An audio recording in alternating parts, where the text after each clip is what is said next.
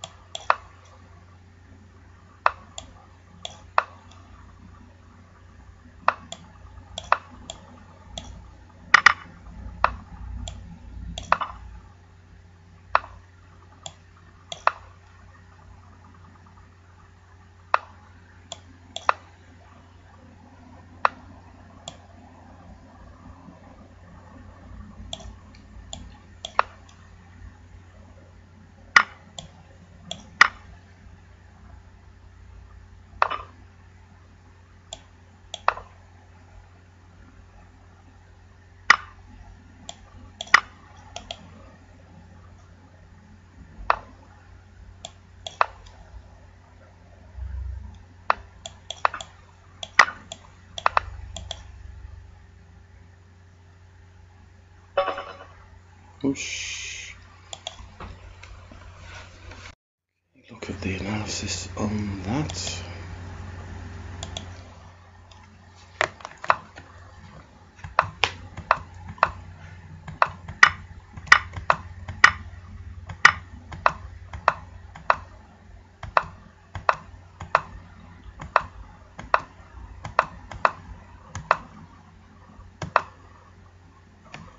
Okay, so it's not happy with the bishop being pushed back. Have I moved too fast there? Hold on. Let's go back, go back. I don't think it likes that bishop move attacking the queen. I mean, I'm not a big fan of it really because it's not x-raying through anything, but it does entice the move of the queen coming here because it's looking for the quick and dirty tactics, you know, getting this pawn out of the way looking for potentially some sort of attacks down on, on the king side.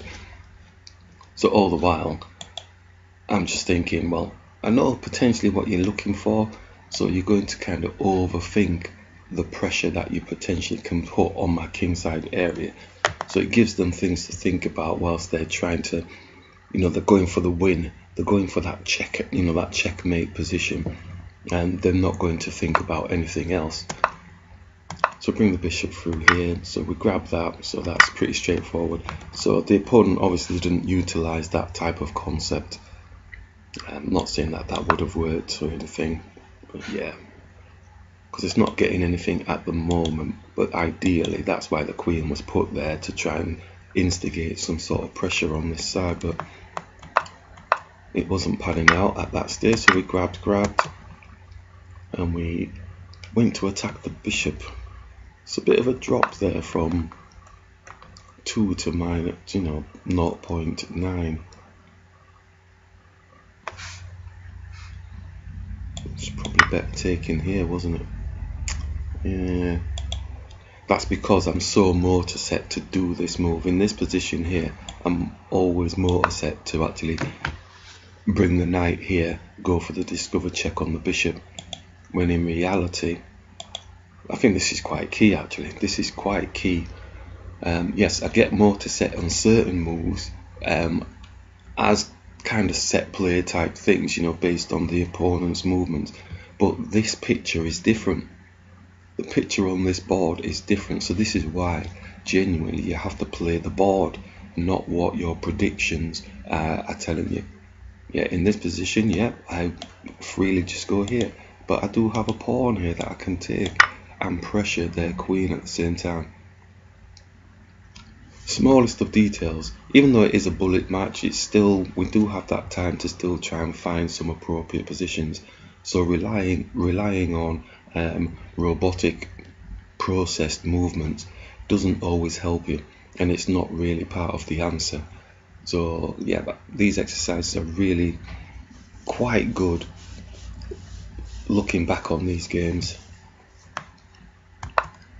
so we bring that down and capture okay so we're still on the pawn but now it gives the opponent the chance to protect the pawn so we charge through attacking the pawn now pawn can't take because there's an x-ray through to the king so we grab, we're not looking to save the pawn now, we're looking to try and get a better position on the board. Computer doesn't like our better position attempt. So we grab, grab, knight's protecting, but we can still take off. We're now owning this file and based on the calculations that we've made we would be owning this file potentially be able to come across here at some stage maybe come here maybe come around the back and try and challenge the king if need be.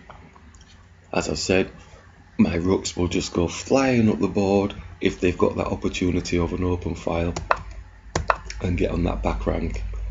So we're attempting to do that here and they do capture so it's equalized in a sense but we're we're winning at this moment in time so how then do we keep that win? Don't want to keep my rook up there anymore.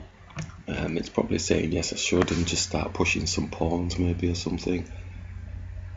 C5 yeah all that sort of stuff but um, in my basic head I'm just thinking okay don't want to get my rook exchanged just yet because it does have linked pawns here. We have a cluster of pawns here and uh, for that brief moment I thought let's support them. He's going to have to work very hard to get his king and his rook fighting off my pawn majority on this side. So I thought bring oopsie daisy it's gone too far. So I thought bring that rook back down to try and help out my king and my pawns. So bring the king up now blocking the rook's access to the back. And then at this point now because his king is going to be further back once we take his rook that's more ideal position for us. So we grab, grab, so now we can make inroads up towards and start using the pawn majority as an advantage. So looking for those little tempi wins, then we can grab and then the pawn's plain sailing to go and get a queen.